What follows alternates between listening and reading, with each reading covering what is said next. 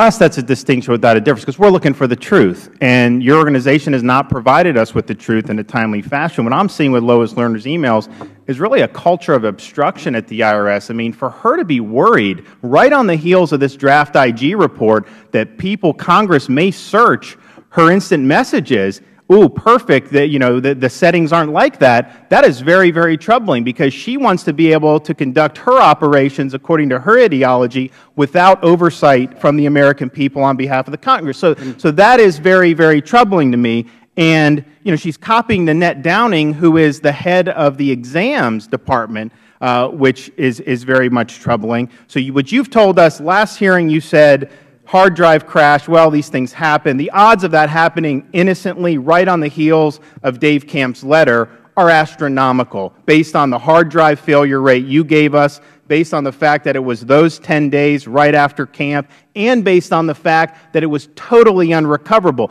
They've recovered data from the Challenger explosion, from 9-11, so somehow Lois Lerner's emails was totally unrecoverable. So that is an, uh, a coincidence of absolutely inexplicable proportions, and I think that's why the American people, 75 percent, do not believe the explanation that the IRS has provided. Um, let me ask you this. Why are we just now hearing about this OCS system? We've supposedly had the FBI investigating this for a year. No one at the, FBI, uh, at the IRS ever told the FBI that there were communications using this system? Didn't. Why didn't anyone at the, F, at the IRS ever tell the Congress never, that there were these? The subpoenas are written very broadly, and they would absolutely have included this, not simply the email. So what is the reason for withholding that from Congress? Uh, you asked a lot of questions. If I could answer them. Uh, I have no information as whether anybody told the FBI or not or was interviewed by the FBI about the OCS system. So it's, uh, I, I, have no basis of saying one way or the other. So I don't think it's fair to say nobody told them. We don't know whether anybody told them.